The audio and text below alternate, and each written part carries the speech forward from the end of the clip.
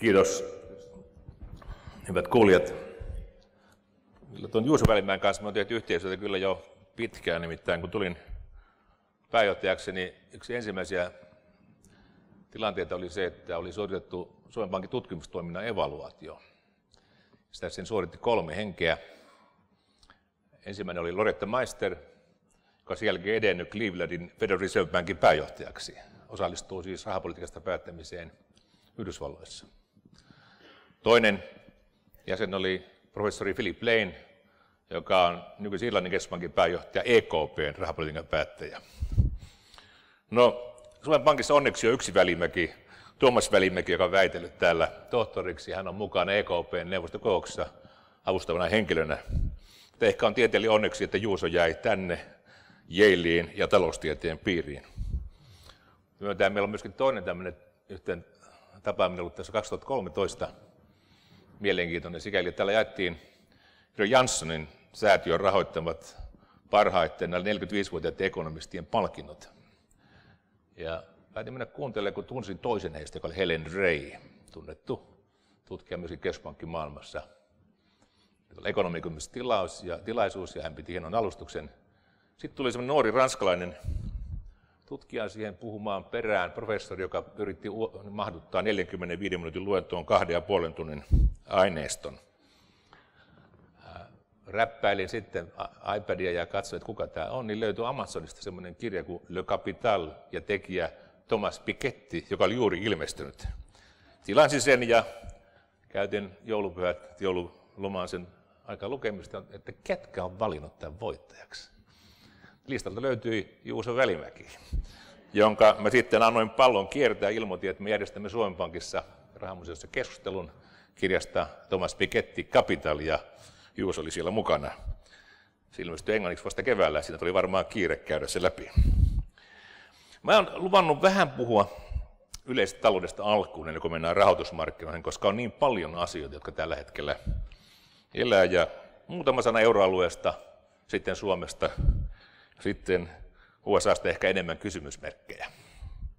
Jos lähdetään liikkeelle tästä, anteeksi, euroalueesta, niin euroalueen kasvuhan vahvistuu laajalaisesti ja kasvuluvut ovat olleet kohtalaisia. Kuitenkin rahapolitiikan tukea tarvitaan edelleen hintavakauden saavuttamiseksi. Tästä kasvun vahvistumisesta on monia, monia indikaattoreita. Tässä näkyy luottamusluvut. Tuo katkoviiva on euroalue ja se on ollut vakaassa kasvussa ja laajalaisessa kasvussa nimenomaan koskee koko euroaluetta nyt viime syksystä lähtien. Mielenkiintoista on myöskin, että teollistuotanto on piristynyt ja niin kuin näkyy, Gibbs-maat, joita kutsuttiin kriisimaiksi aikaisemmin, on myöskin tässä kasvussa mukana. Jos katsoo näitä kasvulukuja, jotka on pari viikkoa sitten tehdyssä EKP-ennusteessa, 1,8, 1,7, 1,6, niin se on meidän potentiaaliin nähden ihan ok, koska pitää muistaa, että Euroopan työikäinen väestö supistuu ja tuottavuusluvut on alhaiset. Jos tämä laitetaan, verrataan vaikka Yhdysvaltoihin henkeään kohden näitä lukuja, siis työssä olevia ihmisiä kohden, niin nämä luvut on ihan, ihan kohtalaisia. Mutta meidän ongelma on kuitenkin inflaation puolella, ja tässä näkyy se ongelma. Sinänsä harmonisoitu kuluttajahintaindeksi on hypännyt korkealle, mutta ennen kaikkea öljyn hintojen vuoksi, nyt se tuli taas jo alas, tässä pari päivää sitten. Ja, mutta pohjainflaatio, joka on kuitenkin se kestävämpi tekijä, on tuossa yhden prosentin tuntumassa. Eli tämä kertoo, että meillä on inflaation suhteen haasteet ja rahapolitiikka täytyy pitää kasvua ja taloutta tukevana. Ja 9.3. juuri EKP-neuvosto käsitteli viimeksi rahapolitiikkaan ja me totesimme, että lainattua osto jatketaan – vuoden 2017 loppuun, eli tämän vuoden loppuun saakka. Ja sitten hyvin tärkeä tämä loppulause. Tarvittaisiin sen jälkeenkin, kunnes inflaatio on palautunut kestävästi tavoitteen mukaisesti. Meidän sitoumus on nimenomaan liittynyt hintavakauteen, ja se täytyy toteuttaa kestävästi. Mutta mitä tarkoittaa kestävästi? Tässä näkyy se neljän kriteerin pohjalta. Ei riitä, että inflaatio hyppää yhtenä päivänä, sen pitää olla keskipitkällä aikavälillä lähellä, mutta alle kahden prosentin. Ei riitä, että se todella liikkuu edes takaisin, se pitää olla kestävästi kahden, lähellä, alle kahden prosentin mukainen. Sen pitää myöskin pitää itseään yllä, tarkoittaa sitä, että tämä inflaatio pitäisi olla kestävästi lähellä, mutta alle kahden prosentin ilman rahapolitiikan tukea. Eli senkin jälkeen, kun tämä elvyttävä rahapolitiikka on vedetty, normalisoitu. Sen lisäksi neljäs asia, joka on hyvin tärkeä aina, on se, että me koko ajan puhutaan koko euroalueesta, ei yksittäisistä maista. Oli aikanaan Euroopan komissiossa 10 vuotta ja siellä oli tämä sama sääntö periaatteessa, ei saa puhua omasta maastaan, mutta tuli semmoinen ilmaisu, että the country I know best, jota käytettiin usein, kun haluttiin puhua omasta asiasta, mutta EKPstä tämä ei käytetä, vaan lähtökohta on se, että rahapolitiikka on koko euroalueelle ja luvut koskevat kaikkia kestävällä tavalla. Miten tämä rahapolitiikka on sitten vaikuttanut, niin tässä näkyy se, että kun USA on, siellä talous on elpynyt nopeammin, asteittain kiristänyt rahapolitiikkaa, ja meidän tämä ennakoiva viestintä on entisellään solidi, niin korkoerot ovat kasvaneet, se on vaikuttanut myöskin valuuttakursseihin, jos katsotaan niitä myös realisten, efektiivisten eli kauppapannoisten valuuttakurssien kautta. Ja tämä on niin kuin se rahapolitiikan peruskuva. No miten tämä kaikki on heijastunut Suomeen? Tässä on meidän viimeinen päivitys Suomesta. Tuossa oikeassa taulukossa näkyy joulukuussa tehty päivitys ensin. Silloinhan Suomen Pankki teki ennusteen, jonka jälkeen meidän ekonomistit ilmoittivat, että taantuma on Suomessa ohi. Sitten eri syistä me haluttiin, että tämä päivitetään maaliskuussa. Joskus käy niin, että se ei ollutkaan. Mutta tuota, päivityksen jälkeen tilanne on positiivisempi, eli että meidän kasvuluvut ovat vahvistuneet. Ja tämä on tietysti positiivinen ja myönteinen asia. Mutta miksi ja miten tämä Suomen talous on kääntynyt, niin pitää muistaa, että Suomi hyötyy kevyestä rahapolitiikasta ja se hyötyy euroalueen kasvusta. Euroaluehan on tämän kevyen rahapolitiikan kautta kääntynyt kasvuun, niin kuin nähtiin, mutta totta kai se hyötyy myös maailmantalouden kasvusta. Kevyt rahapolitiikka tukee kuluttajien ostovoimaa, alentaa kotitalouksien yritysten rahoituskustannuksia, meidän investoinnitkin on kääntynyt kasvuuralle. Myöskin vieni ennustetaan piristyvän sekä kansallisen talouden elpymisen että myöskin Suomen kilpailukyvyn parantamisen myötä. Itse julkisen talouden alijäämä on äh, supistunut hieman 2016, mutta ongelma on se, että pitkällä aikavälillä kuitenkin meidän julkinen talous on kovin suuri suhteessa meidän kansantalouteen. Sopeutumispaineet tulee siellä jatkumaan, se johtuu yhtäältä siitä todella, että ikääntymisen menot painavat, toisaalta siitä, että tuottavuuden kasvu on hidastunut. Eli tässä suhteessa ongelmat eivät ole poistuneet. Toinen ongelma, joka meillä näkyy, on se, että, että erityisesti nuorten miesten ohella työttömyys on uhkaida liian korkealle tasolle. Me esittiin tuossa arvio vielä siitä, että mitä tuon kustannuskilpailukyvyn kanssa on oikein käynyt. Ja ne perinteinen yksikkötyökustannusmittari on nuo ohuet käyrät tuossa keskellä, jossa näkyy, että ero, me, me menetimme runsaasti 2007-2009. Sitten 2013-2015 tämä ero pysähtyi, jähtyi paikalleen ja nyt se supistuu. Oikeampi tapa mitata tätä on tehdä vaihtoisuuden korjaus, jos otetaan tuonti- ja vientihintojen muutos huomioon. Jos tuonti- ja vientihinnat muuttuu niin, että me menetään meidän tuotannosta, tai menetään kansantaloudesta osaa ulos, niin se ei meitä auta. Ja sen takia tämä vaihtoisuuden korjattu on oikeampi luku, ja siinä näkyy se, että tilanne nyt ennusteen mukaan paranee 2017-2018, mutta ei riitä yksin se, että on tämä kilpailukykysopimus tehty, vaikka se on ollut tärkeä, Tämän palkkamaltin oletetaan jatkuvan ja oletetaan myöskin, että muualla kustannusten nousu kiihtyy. Ja jos katsoo palkkaratkaisuja muissa maissa, niin se siltä myös näyttää. Tämä on tämmöinen tiiviskuva Euroopasta ja Suomesta. Ihan muutama kysymys USAsta sen takia, että tämä heijastuu kohta rahoitusmarkkinalainsäädäntöön.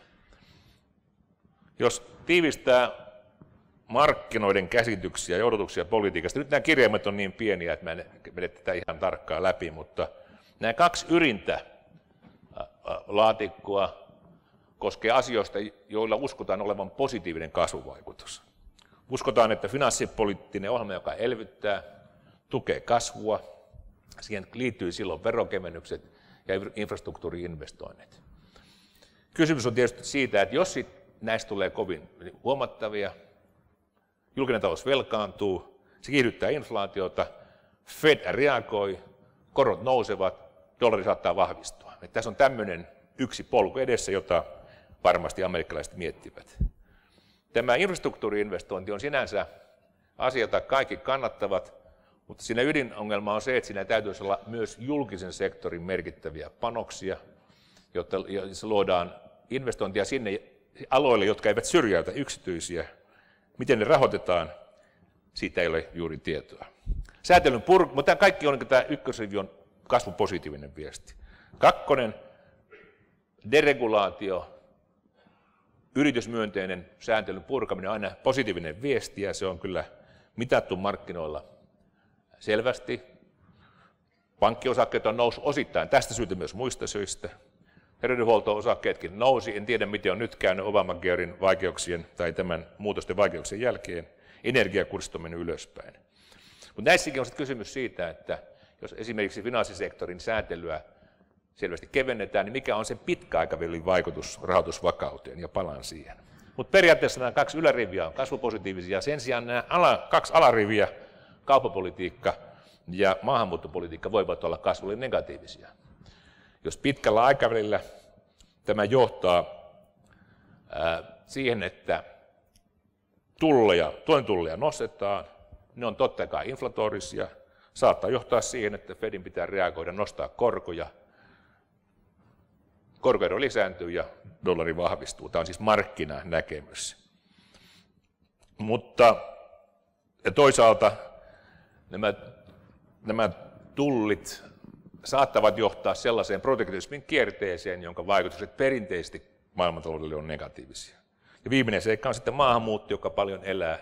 Ja siinäkin on nähty se, että on poliittisesti houkuttelevat, mutta saattavat kasvun kannalta olla negatiivisia. Niille on merkittäviä markkinavaikutuksia, mutta nähty, miten ne on heittänyt peson kurssia. Mitä on tapahtunut sitten tähän saakka? Tein tässä tänään tämmöisen tiiviin listan. No, tämä suuri symbolinen Obamakian, purka, Obamakian purkaminen, sehän on ainakin lykkäytynyt, koska presidentin ehdotuksille ei ollut enemmistöä kongressissa. Mitä on tapahtunut finanssipoliittisen ohjelman suhteen? Asiat on, on auki. Kaikki odottavat, mitä tapahtuu ensi, ensi ehkä elokuussa. Infrastruktuurin suhteenkaan ei ole vielä täsmällisiä esityksiä. USA on hallinnossa hyvin vähän niin kuin ylimmän tason poliittisia virkamiehiä vielä. Se on lähinnä ministeri ja joku toinen, mutta sitten se välikerros puuttuu. Mitä on tapahtunut säätelyn turban ö, suhteen? Tiedetään suuntaviivoja, esimerkiksi lause, jos luodaan yksi uusi säännös, kaksi pitää peruuttaa. Mitä se tarkoittaa yksityiskohdissa, se ei ole juuri tiedossa. Rahoitusmarkkinat, palaan siihen. Kauppapolitiikka on vetäydytty Tyydenmeren vapakauppasopimuksesta. Se voihan olla, että tästä seuraa pitempi trendi, joka kääntää sen sodan jälkeisen kaupan vapautumisen toiseen suuntaan tai ainakin pysäyttää. Sitä ei myöskään vielä tiedetä enempää. Mitä tulee maahanmuuttoon, niin sitä kaikki on seuranneet. Siellä on tehty poliittisia päätöksiä, tuomioistuimet ovat sitten haastaneet ne. Muurin rakentaminen Meksikon rajalle, siinä on tehty muuta kalluppiakin, niin se ei ole kovin suosittu hanke Yhdysvalloissa siinäkään tapauksessa, että meksikolaiset maksaisivat sen. Uuden öljypuuden rakentamisen suhteen on, on tehty päätöksiä. Eli tästä on niin vaikea vetää oikeastaan sellaista niin kuin kestävää johtopäätöstä, ja siksi otinkin Wall Street Journalista tämmöisen tiivistelmän. Wall Street Journal on tunnettu talouslehti USAssa, ei ole vihamielinen republikaaneille, jos sanotaan näin varovasti. Se raportointi on aika kuitenkin itsenäistä ja riippumatonta. Ne on kuvannut tätä tilannetta pari viikkoa sitten niin, että, että yritykset ja kotitaloudet ovat lähe, lähellä korkeampia luottamustasoja vuosiin. Ja kuitenkin USAn talous näyttää vain harvoja merkkejä siitä, että se pääsi irti tästä normaalia alemmasta kasvutrendistä. Tämä dikotomia on auki, me ei tiedetä, miten tämä jatkuu. Mutta katsotaan näitä lähiaikojen tunnelmiin liittyviä lukuja vielä muutama, niin kyllähän ne on vahvoja. Katsokaapa teollisuuden luottamusta viime syksyn jälkeen. USA on jyrkästi noussut ylöspäin, mutta ei ole huono ollut euroaluekaan. Keltaisella viivalla ollaan tuossa lähellä. Kun katsotaan kuluttajien luottamusta, USA on mennyt todella jyrkästi ylöspäin, euroalueella myöskin vahvistunut. Mutta tämä on juuri sitä luottamuslukuja, reaalilukuja sitten seurataan. Jos katsotaan datajulkaisuja, tämä tarkoittaa sitä, että markkinat aina ennustaa, mitä mikäkin tilasto työllisyyden suhteen tai ostovelkakehityksen suhteen kertoo. Jos se saapuva tieto on parempaa, silloin tämä menee nollan yläpuolelle, luvut on positiivisia plussan puolella. Jos se on huonompaa, se on negatiivisia. Tässä näkyy, että on ajettu pitkään puoli vuotta USAssa ja Euroopassa myös semmoista periodia, jossa tiedot on yllättäviä, yllättäneet myönteisesti, ja se on sitten näkynyt pörssikursseissa, jotka on mennyt ylöspäin. Ja jos tuossa katsoo, ettei katsotaan vain USAta, niin Standard Poor's ja DAX vierekkäin, niin kyllä ne on kuin kaksi veljeä mennyt samaan suuntaan. Eli paljon asioita auki, mielenkiintoa tulee riittämään. Mutta ehkä ihan pieni hyppy sitten Fediin. Ja mä en ota tähän kantaa, mutta vähän kuvaan keskustelua, mitä USAssa käydään tänään. Niin. USAn Fedissähän on Washingtonissa periaatteessa seitsemän kuvernööriä. Periaatteessa. Sen takia, että oma nimitti kaksi, mutta ne ei koskaan tullut hyväksytyssä kongressissa. Sillä on jäljellä viisi, josta yksi on eronnut ja ilmeisesti jättää tehtävänsä huomenna, eli Don Tarullo. Jäljellä on Janet Yellen, Stanley Fisher, Jerome Powell ja Lyle Brainard. Mutta kyllä tuo kärki on kovaa ja tässä kun täällä on Yri Hansson säätiön korkeita edustajia, niin mennäänpä vähän historiaan taaksepäin. 1978 Yri Hanssonin säätiö tuki tohtorikurssia, rahoitti täällä Helsingissä. Tuo keskellä oleva nuori, saanko sanoa viehättävä tohtori on Janet Yellen. Tuolla kurssilla oli oppilana muiden muassa Pertti Haparanta, joka innostui niin, että lähti suoraan Jeeliin neljäksi vuodeksi ja väitteli siellä ja palvelee tässä, tässä yliopistossa. Sen Jelen muuten sattumoisin oli juuri mennyt naimisiin ekonomistin George Akelovin kanssa, josta tuli nobelisti, ainoa nobelisti, joka tunnetaan huonommin kuin hänen puolisonsa. Seuraava vuosi haluan kertoa, että kyllä Jansson säätiö usein valinnut hyvin projektinsa. Tässä on tohtorikurssi vuonna 1979.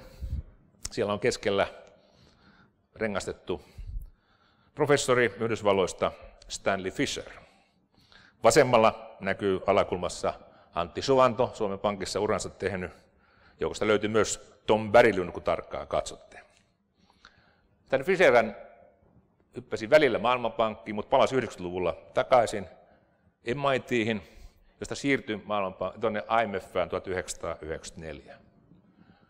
Mutta juuri lähtiessä hän teki yhden rekrytoinnin, oli yksi aukko, nuoren, pätevän, lahjakkaan taloustieteilijän mentävä aukko, ja hän palkkasi sellaisen MITihin. Tämä palkattu sai vastikään Nobelin, hänen nimensä on Bengt Holmström. Kun Suomen Pankki täytti 200 vuotta, vuonna 2011, tuossa kuvassa näkyy kaksi harmaa päistä henkilöä, ne ovat nämä Janssonin kurssin vetäjät. Paikalla oli silloin Fedin varapuheenjohtaja Janet Yellen, joka on kuvassa oikealla. Vasemmalla on Stanley Fisher, Israelin keskuspankin pääjohtaja. Kenen keskellä on Steve Leisman, CNBCin toimittaja, joka on tunnetuimpia keskuspankkipolitiikan raportoijia. Hän on sikäli merkittävä tässä, että hän oli ainoa, joka halusi haastatella heitä. Kukaan suomalainen media ei halunnut haastella kumpaakaan. Jos katsotaan sitten, miltä tämä Fed, Fed näyttää tänään, niin todellakin seitsemästä on kaksi ollut täyttämättä ja kolmas on avautunut. Tämä Don Tarullo on tärkeä, koska hän on nimenomaan regulaatioasiantuntija, on istunut Baselin komiteassa ja kaikilla siellä palaan häneen. Presidenttiä nimittää Fedin johtokunnan jäsenet 14 vuodeksi kerrallaan ja puheenjohtajaksi neljäksi vuodeksi kerrallaan. Janet Yellenin kausi päättyy puheenjohtajana kolmas päivä helmikuuta ensi vuonna ja Stanley Fisherin kausi 12. päivä kesäkuuta ensi vuonna. Meillä riittää mielenkiintoista seurattavaa tästä etenkin päin. Saman aikaan USA on käynnistynyt uudelleen keskustelu Fedin asemasta. Tehty sellainen aloite kolmannen kerran kuin Audit the Fed. Kun luin Ben Bernankenin blogia tästä aikaisemmasta aloitteesta, niin hän sanoi, että ei se ole mikään audit. Se tarkoittaa, että control the Fed. Idea on se, että kun keskuspankkien asema on vahvistunut niin paljon, se täytyy saada vahvempaan, tehokkaampaan poliittiseen kontrolliin. Meillä tulee olemaan mielenkiintoinen keskustelu, millä tavoin uusi hallinto suhtautuu tähän Audit the Fed-aloitteeseen. Näin valtiovarainministeri Mnuchinin kommenttia oli selvästi pidättyväinen, mutta, mutta tota, aika, aika näyttää. Presidentin twiittejäkin olen lukenut, mutta en kommentoin niitä tältä osin. Mutta jos sitten mennään tähän mun ilmoitettuun aiheeseen, joka on rahoitusmarkkinat, se on tämän neljäs osa. Me eletään nyt vuotta 2017. Kesällä 2017 pidettiin Pori Areena, Suomi Areena Porissa. Ja me kutsuimme sinne tärkeitä puhujia. Yksi on täällä, professori Matti Pohjola oli seminaarissa, mutta ei ole tässä kuvassa valitettavasti. Muita puhujia olivat EKPn päättäjä Jean-Claude Trichet, Federal Reserve Bankin vanhempi ekonomisti Greg Hackio ja MITin professori Bengt Holmström. Tämä kuvalla haluan kunnioittaa Alvar Aaltoa, joka, jonka nimiä kantaa tämä yliopisto. Sehän on Villa Maeria tuossa taustalla. Miltä maailma näytti kesällä 2007? Tämä oli viimeinen vapaa viikko. Elokuussa alkoi epävarmuuden aika. Likvideetti kuivui, rahasto jouduttiin sulkemaan ja sillä tiellä sitten oltiinkin pitkään. Mutta katselin vielä tätä varten tänne tullessani, että mitä silloin ajateltiin tuota ennen maailmasta. Kansainvälinen valuuttarahasto sanoi keväällä 2007, nyt lainaan, Suotuisat globaalit talousnäkymät tarjoavat edelleen vahvan perustan globaalin rahoitusjärjestelmän vakaudelle. Tämä oli siis neljä kuukautta ennen kuin epävarmuudet alkoivat. Raportti kuitenkin sisälsi pari tärkeää kohtaa. Se sisälsi skenaarioanalyysin subprime-luottojen arvonalennuksen tartuntavaikutuksista, jotka voisivat uhata globaalin järjestelmän vakautta. Että kyllä siellä varoitusmerkkejä oli, mutta yleiskuva oli luottava. Myöskään BIS, joka on siis keskuspankkien yhteinen järjestelypankki Baselissa, ei ollut kriisitunnelmissa heinäkuussa 2017. Yleensä BIS on saanut paljon tunnustusta, kun ne, joku sanoo, että on ennustanut viimeisestä neljästä kriisistä 12.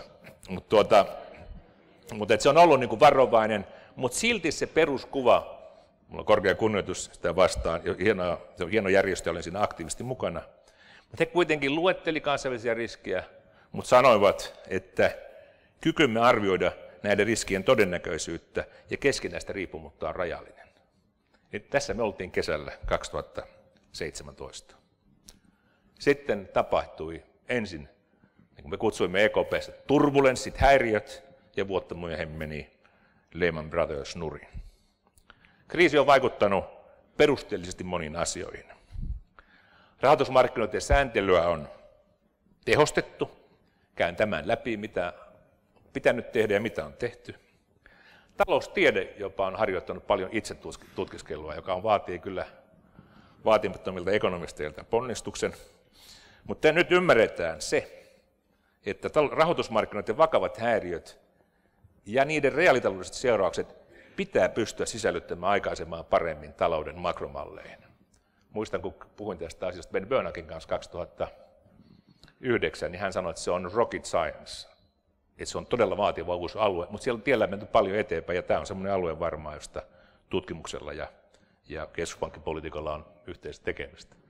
Sääli jättää tämä kuva, mutta menen nyt tästä kuitenkin eteenpäin. Käy näitä perussyitä hieman läpi. Miksi käyn niitä läpi? Sen takia, että Kymmenen vuotta on niin pitkä aika, että nyt keskustelussa on melkein alkanut asiat jo unohtua. Ja sitten kun asiat unohtuu, sinne tehdään uudelleen. Sen takia palataan hieman tähän kuvaan, mitä on tehty ja missä ollaan tänään. Finanssikriisi on muistutus siitä, kuinka suuria talouskasvun menetyksiä rahoitusmarkkinoiden vakavat häiriöt aiheuttavat. Vakasti toimiva rahoitusjärjestelmä on kestävä, edellytys kestävälle kasvulle. Ja tämä pitää muistaa erityisesti nyt, kun sääntelyuudistuksia usein arvostellaan. Yksi ihan keskeinen syy finanssikriisiin oli se, että, että suuria, suurimittaisia kriisejä maailman kehittyneimpien rahoitusmarkkinoiden ytimessä ei pidetty mahdollisena. mahdollisena. Luotettiin, että järjestelmä säätelee itsensä. Kriisiä kutsuttiin mustaksi joutseneksi. Mutta joutsenahan oli lintu, jota ei tunnettu ennen kuin Australia löydettiin. Se oli niin harvinainen, täysin epätodennäköinen linnun joutsenen väri. Hyvä esimerkki oli USAssa nopeasti kasvanut asuntoluottien arvopaperistaminen. Paketoitujen asuntoluottien myymistä muille sijoittajille, myös eurooppalaisille pankeille, pidettiin uutena ja tehokkaana riskien hajautuksen muotona. Mutta mitä tapahtui, kun kriisi puhkesi? Hallitus muuttui kriisien tarkunta, riskien tarkuntakanavaksi. Pankkien ja muiden rahoituslaitosten väliset globaalit kytköset olivat kasvaneet niin monimutkaiseksi, että asuntoluottoriskeistä USAssa muodostui paljon suurempi shokki, joka uhkasi jäädyttää markkinat maailmalla. Bengt Holmström puhui tästä muuten täällä 2012 Jaakko Honko luennossaan. Sitä aikaisemmin muuten myöskin Jackson Holeissa. Ja hän puhui siitä, mitkä ovat velkamarkkinoiden likviditeetin edellytykset ja miksi likviditeetti voi nopeasti kadota kriisitilanteessa. Tunnette hyvin hänen käsityksestä tukkumarkkinoista ja bankranista siellä. Laajasti uskottiin tuolla myös markkinoiden itsesäätely, koska ajateltiin, että kyllä pankkien omistajilla ja sijoittajilla on vahvat kannustimet kontrolloida pankkien riskinottoa. Alan Greenspan on myöhemmin todennut, että hän on pettynyt tässä suhteessa, kun katsoo, miten historia kulki. Finanssikriisin jälkeen onkin jouduttu arvioimaan uudelleen rahoitusjärjestelmän kyky markkinakurin ja itsesääntelyyn. Yksittäistä pankkia voidaan valvoa, mutta järjestelmän riskien olemassaolo on huomattavasti vaikeampi asia. On tullut selväksi se, että ei yksittäisellä toimijalla tai instituutiolla ole riittäviä kannustimia varautua koko järjestelmän tason riskeihin. Avuksi tarvitaan huolellisesti laadittua sääntelyä ja valvontaa. Jos käydään sitten vielä läpi näitä kolmea kriisin syytä. On siis makrotaloudelliset tekijät, Keskeinen tekijä silloin oli vaihtotaseiden epätasapaino erityisesti USA ja Kiinan välillä, jota vauhditti Kiinan ja muidenkin Aasian maiden raju talouskasvu. Se loi paljon vaurautta, se toi paljon näille ylijäämiä, ja taustalla oli heillä vielä Aasian kriisin karut opetukset 90-luvulla. Ne päätti, että ei koskaan enää, nyt rakennetaan puskureita. Ylijäämää ei tuhlata, vaan suojaudutaan. No mihin ne laitetaan ne ylijäämät? sijoitetaan ne turvallisimpaan mahdolliseen paikkaan. No mikä sitten olisi? Yleensä USAn valtion paperi. Jouduttiin mielenkiintoiseen tilanteeseen, että vaikka siinäkin vaiheessa, kun Fedi tuli nostamassa korkoa, niin nämä ylijäämäsijoitukset menivät USAan pitkiin papereihin ja painoivat pitkät korot alaspäin. Alan Greenspan puhuikin sanasta conundrum, arvoitus tuossa vaiheessa. Ja kun nämä, kor- nämä valtiolainen korot painu alas, syntyi paineita luoda uusia sijoituskohteita, ja siinä tuli sitten kahdesta syystä tilaus subprime-luotoille. Tarvittiin sijoituskohteita, sitten haluttiin poliittinen ratkaisu niille ihmisille, joille ei ollut varaa omaan asuntoon. Toinen taustatekijä oli se, että talouskasvu oli ollut pitkään vakaata. Suhdanne vaihtelut olivat tasaantuneet. Puhuttiin aikakaudesta Great Moderation. Ajateltiin, että se on se moderni rahapolitiikka. Ja totta kai, totta kai keskuspankit ottivat tästä ansiota. Oli myöskin totuttu 87 pörssin romahduksesta lähtien siihen, että jos tulee paha paikka, niin keskuspankit pystyvät tarjoamaan likviditeettiä ja vakauttamaan markkinat. Mutta nämä, kaikki, nämä kehityskulut olivat niin myönteisiä. Uskottiin vakauteen, luettiin keskuspankkien kyky antaa likviditeettiä, mutta samalla ne nosti turvallisuuden tunnetta ja vähensi riskitietoisuutta. Ja toinen syy, raha- ja makrovakauspolitiikka.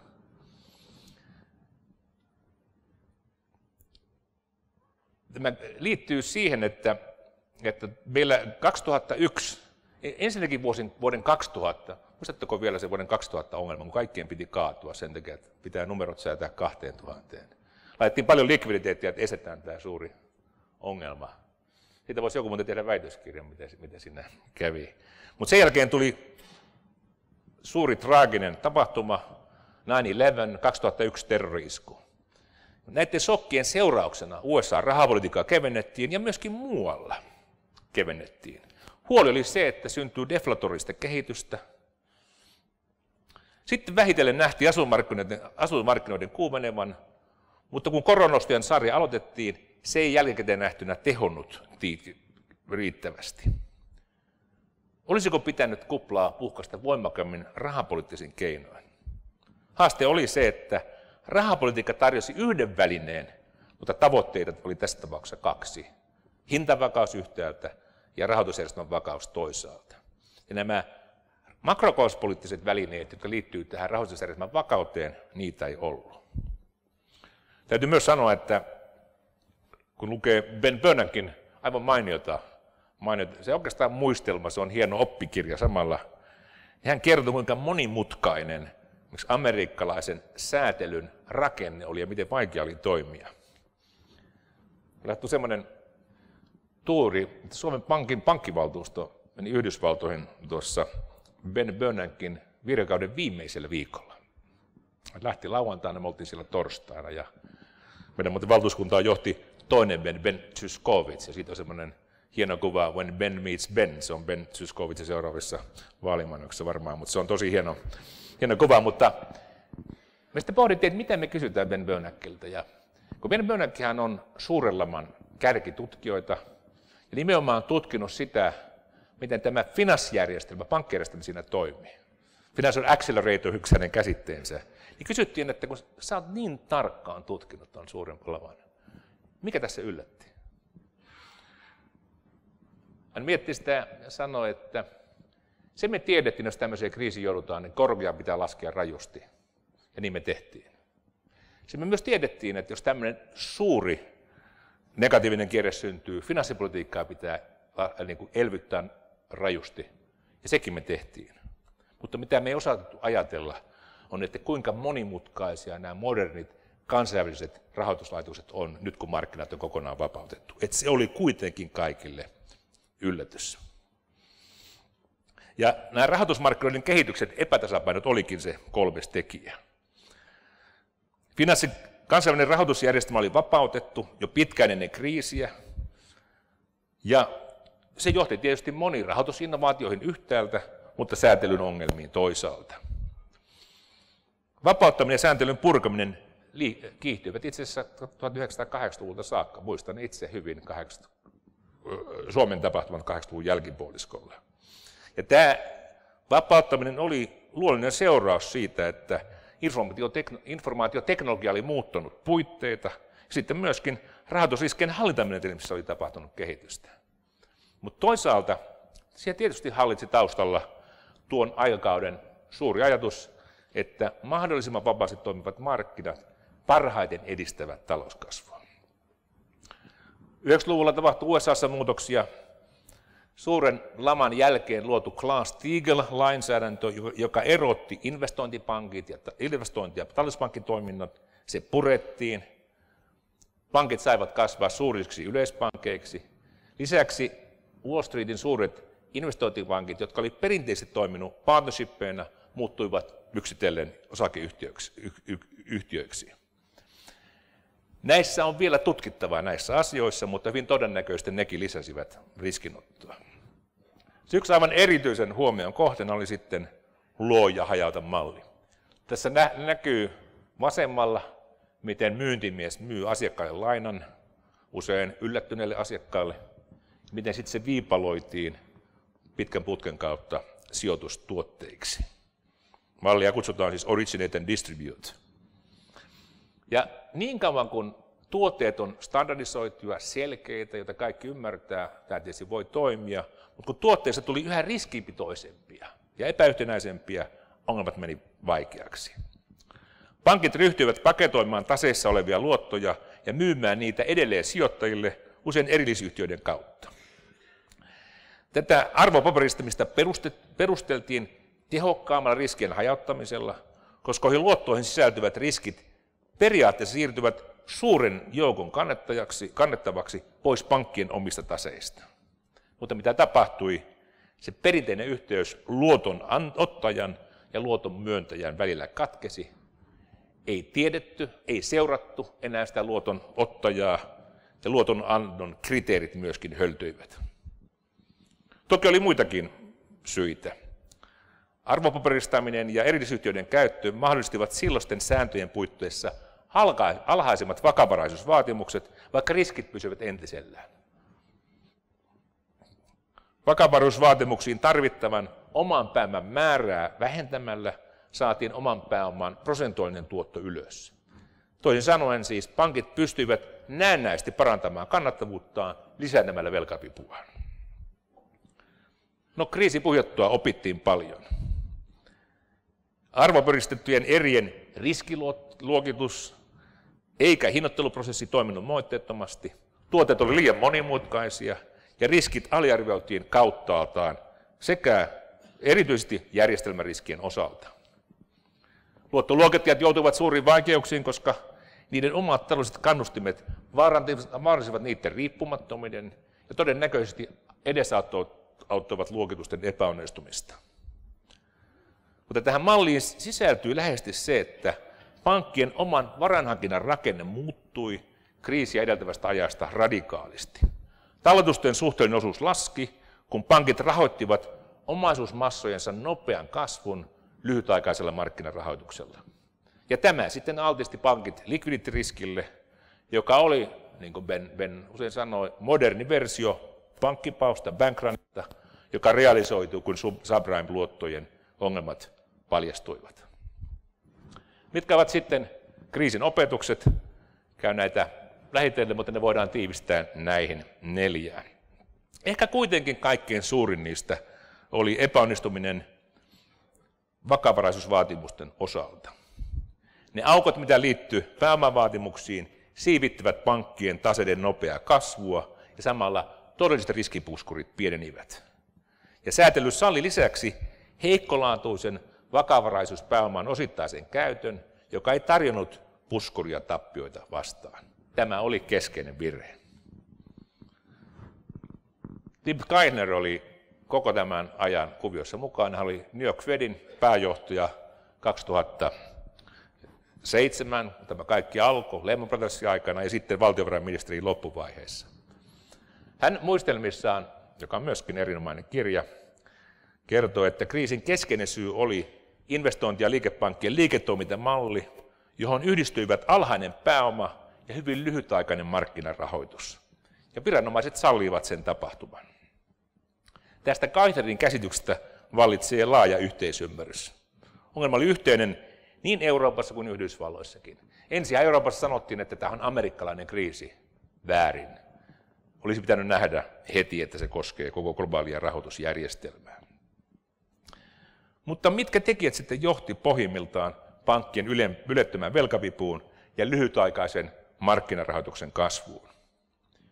Yhden selityksen mukaan kyse oli tyypillisestä euforiasta, joka ajoittain valtaa rahoitusmarkkinat ja vähän joskus muutenkin ihmisten maailmaa.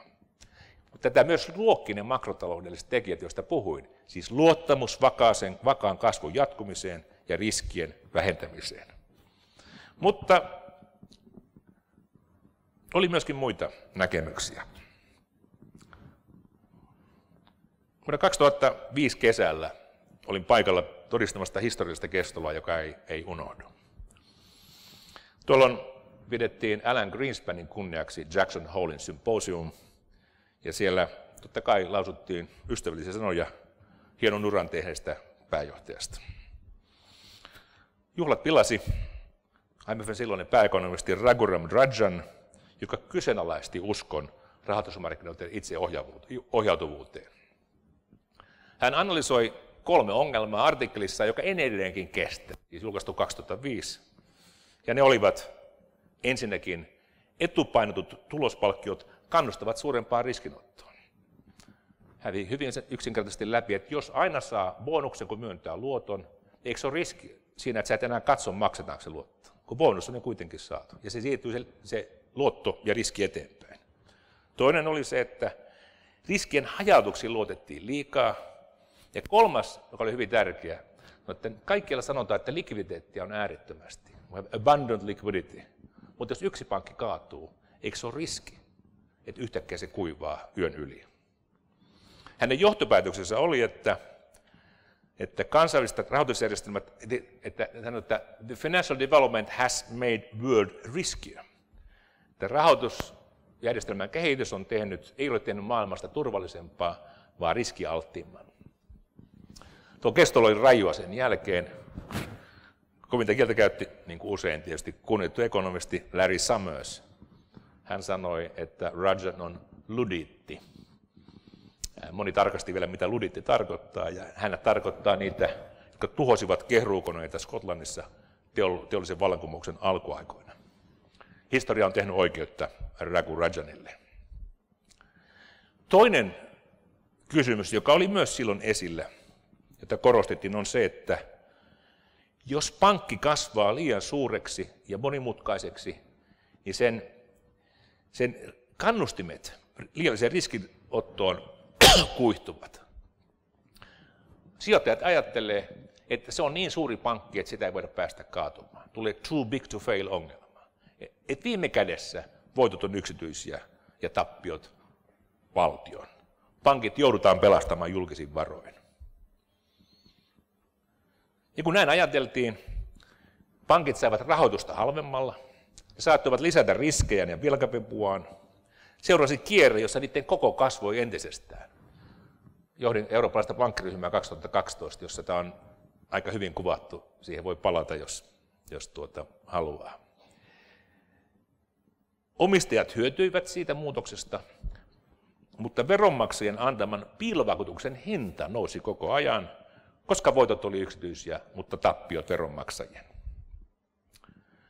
Juuret kriisillä oli Yhdysvalloissa, mutta riskit olivat levinneet kaikkialle, laajasti myös Eurooppaan, ja sääntelyn ja valvonnan puutteet olivat samanlaisia. Kysymys onkin nyt tänään sitten se, että mitä on tehty, jotta ongelmat eivät toistu, onko tehty ajoissa niin kauan kuin muistetaan, niin silloin pitäisi myöskin korjata. Se valmistelutyö, mitä on tehty, sitä on tehty Baselin ympärillä. Siellähän toimii juuri tämä kansainvälinen järjestelypankki BIS, ja sen ympärillä on kolme elintä. On Financial Stability Board, joka on rahoitusvakausneuvosto. Sitä johti Mario Draghi vuoteen 2011 saakka, ja nykyisen puheenjohtaja on Englannin pankin pääjohtaja Mark Carney, joka vieraili äskettäin Suomessa. Sen tehtävä arvioida globaalin rahoitusjärjestelmän haavoittuvuuksia ja esittää toimia sen korjaamiseksi. Toinen tärkeä toimija on Baselin pankkivalvontakomitea, jonka puheenjohtaja on Stefan Ingves, Ruotsin keskuspankin pääjohtaja, mutta mies Närpiöstä. Sen tehtävä on taas kehittää pankkien säätelyä ja valvontaa ja käytäntöjä maailmanlaajuisesti. Kolmas elin on sitten, ja tämä on se koordinaatioelin, joka sitten tekee lopulliset kompromissit ja ratkaisut, on keskuspankkien pääjohtajan ja valvojien ryhmä, ja sen puheenjohtajana on Mario Draghi. USA on ollut vahvasti keskeisesti mukana näissä kaikissa.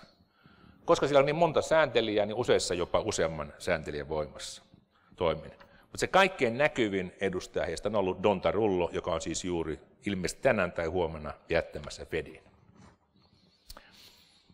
Sinänsä ne Baselin komitean standardit eivät ole suoraan juridisesti sitovia, mutta kuitenkin maat seuraavat, koska markkinat haluaa tietää, millä säännöillä te toimitte. EU ja sen jäsenmaissa, EU sen jäsenmaissa pankkien säätely noudattaa varsin tarkasti Baselin komitean suosituksia. Nyt, mitä tapahtuu sitten nyt Yhdysvalloissa? Ja tämä on se kysymys. Vuodenvaihteen jälkeen on käyty kirjeenvaihtoja ja annettu executive order.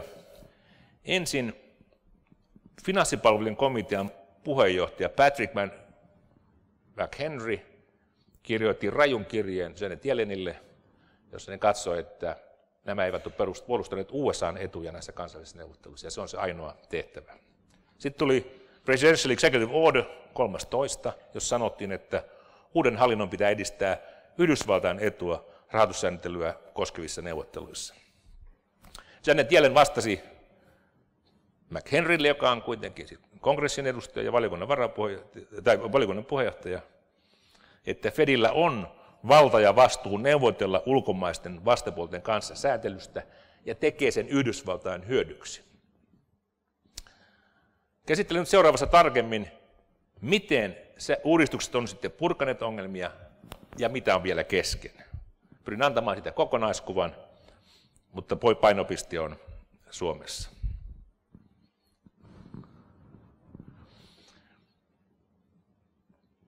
Ensinnäkin pankkien tappionkantokykyä on merkittävästi vahvistettu. Ennen finanssikriisiä pankit tarvitsivat enimmillään vain, tai vähimmillään vain 2 prosenttia parhaimman laatuista osake- tai osuuspääomaa suhteessa riskipainottuihin saamisiin suojana tappiota vastaan.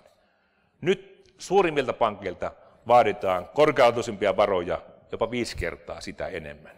Ja tämän takia pankit kestävät riskiä paremmin. Myös pankkien kykyä selvitä likviditeettikriisistä kriisistä on vahvistettu.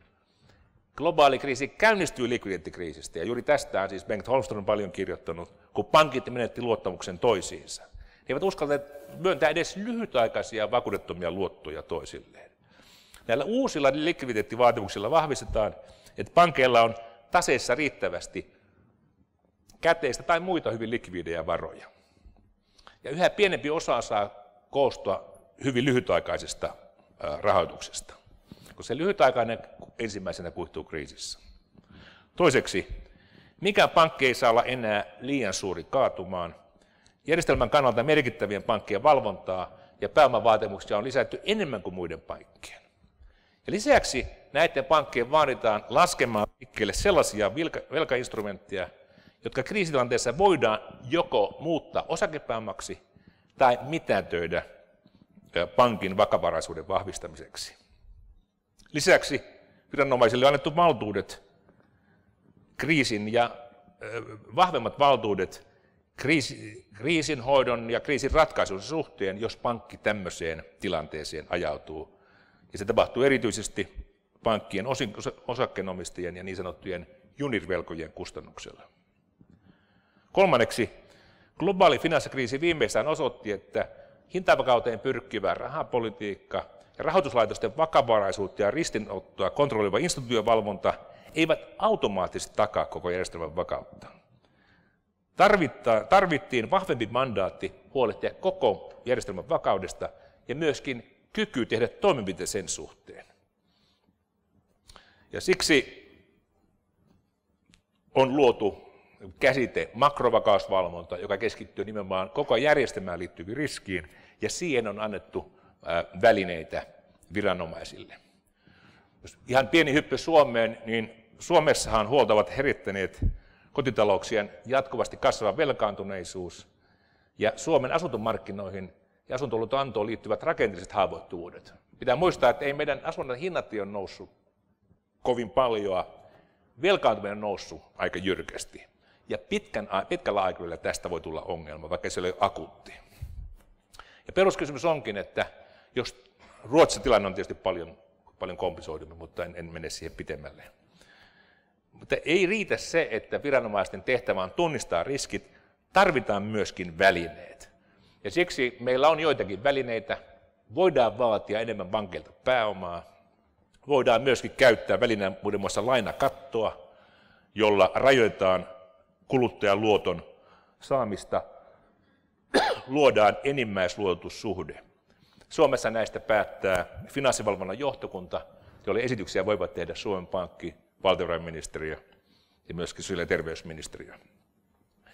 Ja tämä finanssivalvonta toimii tässä itsenäisesti. Mitä on tehty Euroopan tasolla, niin on viety pitkälle pankkiunionia. Vaikka finanssikriisin siemenet kylvettiin Yhdysvalloissa, monet Euroopan maat kärsivät kriisistä, ja sen jälkeen kärjistyneestä euroalueen valtioiden velkakriisistä kaikkein eniten. Suomehan tämä pankkikriisi ei koskenut, me olimme tehty, tehty omaamme 90-luvulla, ja niitä ihmisiä oli vielä mukana pankkitoiminnassa. Se auttaa, kun on muisti. Finanssikriisin kokemukset varjosti kuitenkin karulla tavalla sen, että yhdentyneet Euroopan pankki- ja rahoitusmarkkinat yhtäältä ja toisaalta kansallisesti pirstoutuneet pankkivalvonta ja kriisiratkaisu ovat kestämätön yhdistelmä. Jos suurilla rahoituslaitoksilla voi olla merkittävää liiketoimintaa monissa maissa, myös niiden valvonnan ja kriisiratkaisun pitää olla laajemmalla pohjalla. Mitä on tehty? On luotu yhteinen valvontamekanismi, joka näkyy siinä vasemmalla, joka johdossa on tärkeässä asemassa muuten kaksi suomalaista tänään. Pentti Hakkarainen on yksi niistä neljästä EKP nimittämästä jäsenistä valtioneuvostossa, jotka on siis itsenäisiä. Hänkin on muuten tämän, tämän talon oppilaita. Ja, ja Jukka Vesala on johtajana yhdessä keskeisessä osastossa. Mikä tässä on se perusidea? Yhteinen valvontamekanismi mekanismi varmistaa sen, että kaikkia pankkeja euroalueella valvotaan yhdenmukaisella tavalla, mutta silti voidaan hyödyntää paikallista osaamista. Toinen tärkeä on sitten kriisiratkaisumenetelmä, mekanismi, ja siinähän on nyt edetty eurooppalaisella tasolla. Kriisiratkaisuneuvosto on luotu Brysseliin. Eikö Timo Löyttönimi on myöskin täältä muuten väitellä? Onko se? Nämä on kaikki, tämä mainitsin jostain täällä. Tämä täytyy olla siis hyvissä käsissä. tuota, ja, ja, se on huomattava tärkeä asia. Ja semmoinen pieni positiivinen signaali näkyy markkinoilta, ja se on se, että se too big to fail ongelma, se implisiittinen valtion takas, jota pankilla on ollut, niin sen merkitys on selvästikin vähentynyt. Se kertoo, että markkinat on ottanut vakavissaan hallitusten toivomuksen. Yksi asia tästä puuttuu ja se on yhteinen talletussuoja. Palaan siihen ihan, ihan lopussa. Mitä sitten kriisin jälkeen, mitä tänään voidaan sanoa tilanteesta? Niin kyllä kriisin jälkeen globaali rahoitusjärjestelmä on muuttunut vakaammaksi ja turvallisemmaksi, ja kyllä tässä on niin kuin viime osoittanut. Mutta silti pitää muistaa, että vakautta uhkaavat riskit on kuin viruksia, jotka jatkuvasti muuttuvat. Me ei tiedetä, mistä, suusta se, mistä suunnasta seuraava ongelma tulee. Usein ne ärhäköityy, kun reagoivat aiempia sairauksia varten kehitettyihin lääkkeisiin. Jääkkötiet, jääkkötiet tuli nämä jääkikkotermit mieleen, kun tuo Mark Kahn oli Suomen Pankissa puhumassa, niin se uskomaton slide, jonka hän esitti. Se oli Edmonton Oilers, hänen nuoruusvuosiltaan. Hän muisti, kun Risto Siltanen, Teemu Selänne ja Esa Tikkanen tulivat Edmontoniin. Hän, siellä oli yksi lainaus vaan yhdeltä heistä, että luistele sinne, missä kiekko menee seuraavaksi, ei sinne, missä se nyt on. Ja tämä on tämän, itse asiassa tuli että tämä on se valvojan ongelma. Älä keskity siihen, missä tilanne nyt on, vaan yritä katsoa, mihin tilanne muuttuu. Keskuspankit on, niin kuin äsken osoitin, harjoittanut elvyttävää rahapolitiikkaa, ja se ollut välttämätöntä kriisistä hitaasti toipuneessa maailmassa. Mutta on selvää se, että tämä matalat korot, elvyttävä rahapolitiikka voi omata sivuvaikutuksen. Se voi jossakin olosuhteissa lisätä riskinoton kannustimia ja ruokkia varallisuushintojen nousua. Ja joissakin maissa onkin luotoanto alkanut kasvaa uhkaavan nopeasti. Ja juuri silloin pitää käyttää näitä makrokaasvälineitä, jotka suuntautuu joko lainanottajan tai lainan luoton myöntäjään. Mutta on tässä toki tapahtunut myöskin myönteistä. Kyllä vuosien aikana kansainvälinen rahoitussektori on tervehtynyt. Se on yksinkertaistunut ja otan vain neljä esimerkkiä. Pankit käyttävät vähemmän lyhytaikaista arvopaperikauppaa, käyvät vähemmän lyhytaikaista arvopaperikauppaa tänään kuin hulluina vuosina. Monet suuret, toinen on se, että monet suuret jättiläiset ovat karsineet rönsyjään ja yksinkertaistaneet ja selkittäneet rakenteitaan – Kolmanneksi monimutkaisten aitoa arvo, lisäarvoa tuottamattomien keinotekoisten rahoitusinstrumenttien käyttö on vähentynyt. Ja neljänneksi rahoitusjohdannaisten markkinat ovat aiempaa selvästi läpinäkyvämmät. No miten tämä kaikki vaikuttaa pankkeihin? Onko menty liian pitkälle? Joko tämä vahingoittaa kasvua ja yhteiskunnan rahoitustarpeita? Ja kyllähän semmoistakin tutkimustietoa tai tutkimustuloksia on, jotka tätä epäilevät. Pitää kuitenkin muistaa, että vaikka nämä uudistukset ovat merkittäviä, niihin on myös annettu sopeutumisaikaa.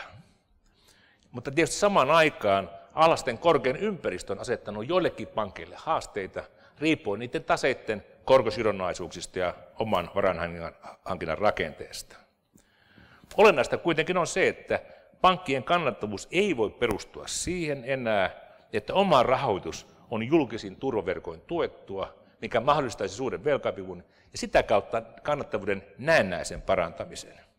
Omistajien ja sijoittajien täytyy olla valmiita selkeään työjakoon, voitot ja tappiot kuuluu samoille. Ja uusi kriisiratkaisulainsäädäntö tarjoaa keinot siihen, että riskit siirtyvät aidosti pankkien, ja omist, äh, pankkien omistajille ja velkasijoittajille. Tästä voi seurata, että sijoittajat voivat vastaisuudessa vaatia suurempia riskipreemioita. Tärkeä kysymys myös on se, että mitä tapahtuu pankkisektorin ulkopuolella. Siirtyykö riskiä yhä enemmän niin sanottuihin varjopankkeihin, joita ei säädellä? Nämä on siis yrityksiä, jotka muistuttaa pankkeja, mutta niiden sääntely on kevyempää. Itse asiassa varjopankkien rooli kriisin synnyssä oli merkittävä, koska osa pankkien todellisista riskeistä oli piilossa pankkien taseiden ulkopuolella. Kriisin jälkeen tämän sektorin riskien hallinnasta on esitetty erilaisia näkemyksiä. Mittavaan säätelyyn ei kuitenkaan ole vielä menty, mutta sen sijaan pankkien kytköksiä paripankkisektoriin säädellään aikaisempaa tehokkaammin.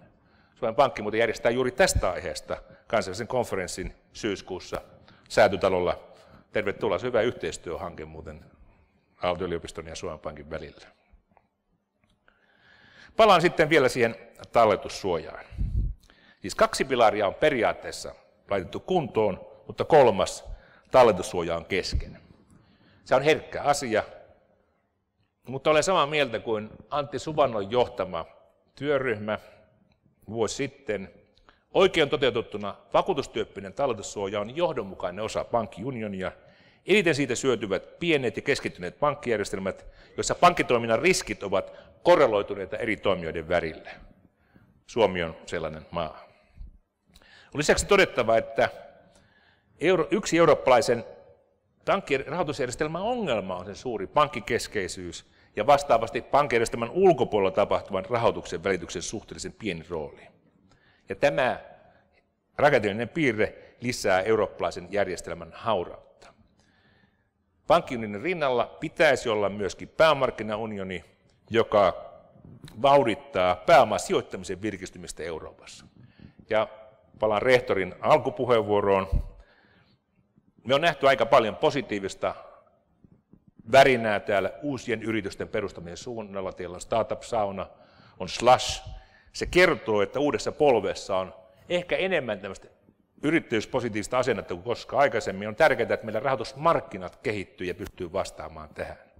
Mutta tietysti samalla on aina niin, että pääomasijoittajat markkinataloudessa joutuu suorittamaan myös karsintaa.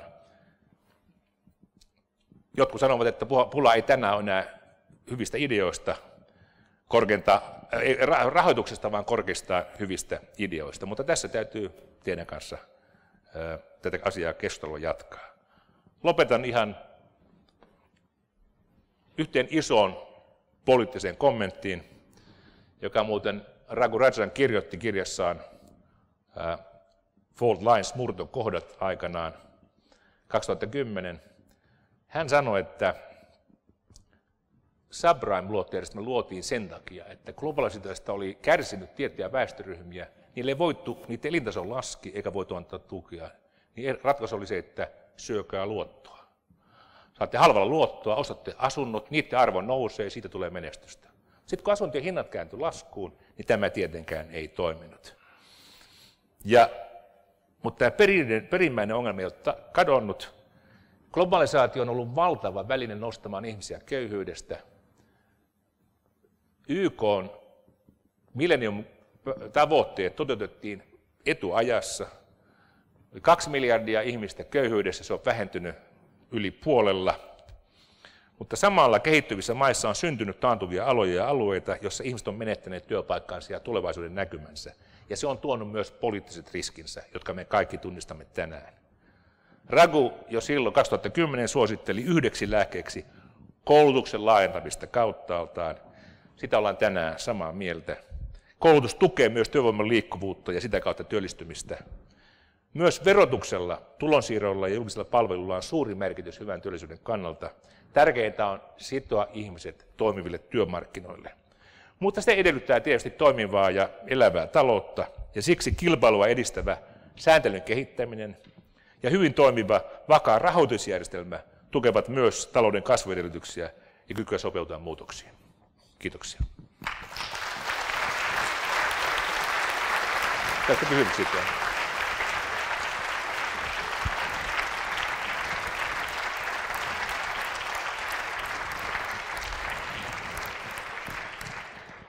Kiitokset, monet kiitokset Erkki Liikanen tästä mielenkiintoisesta uh, esityksestä ja kiitos tietysti myöskin hienoista valokuvista, joita saimme nähdä.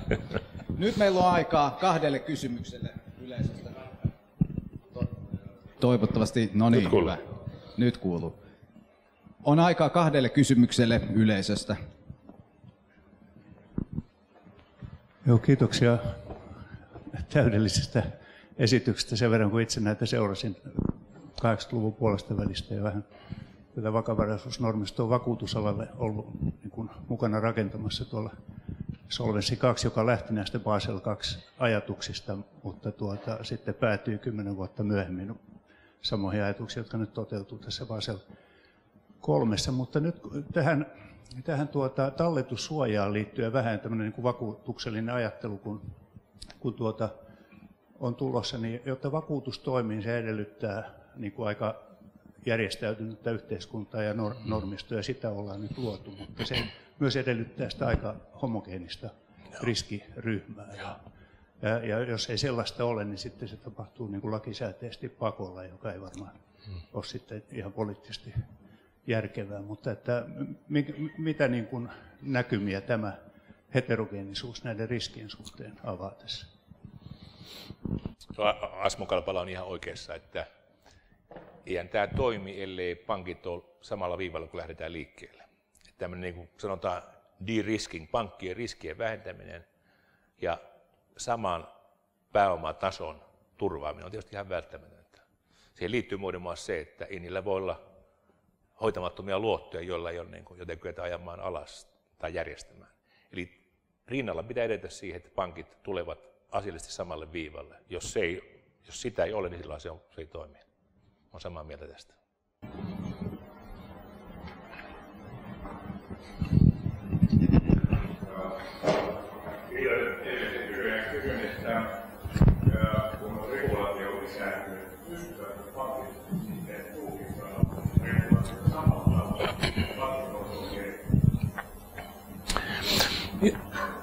Itse asiassa mä olin ajatellut juuri, että jos tämä kritiikki tulee, niin sen mä myönnän. tuota, että siis, että kyllä se yksi asia, joka pitäisi katsoa, on, pidetään huoli näistä suurista, jotka, jotka voi aiheuttaa suuren makrotaloudellisen vahingon. Ja niille pitää vaatia pääomaa ja niillä on kyky hoitaa tämmöinen regulaation, asiantuntemus ja puolustus. Mutta sitten voi olla, että, että pienten pankkien osalta tämä, tämä järjestelmä saattaa tulla liian raskaaksi. Se täytyy käydä läpi, kyllä tämä on asia, josta on keskusteltu, että, että kuinka yksinkertaista taas säätelyä. Totta kai ne vaatimukset pitää olla, perusvaatimukset samat, kaikkein suurimmilta vaaditaan vain niin ylimääräistä. Mutta säätely voi olla joidenkin yksittäisten toimijoiden kannalta liian monimutkaista ja vaikeaa, ja se kritiikki niin kuin pitää ottaa vakavasti vastaan. Kiitos.